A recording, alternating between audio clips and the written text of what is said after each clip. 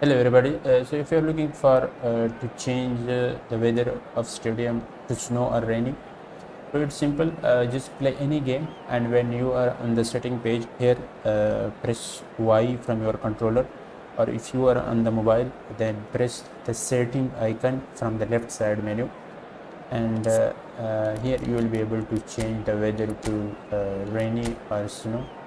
So it's a simple. Uh, it's also uh, same thing uh, on a mobile device if you are playing the game on a mobile uh, just press y from your controller and then go to the weather section and you will be able to change to rainy and snow. Hope this video helped you. Subscribe this channel for more informative video like this. Thanks for watching and goodbye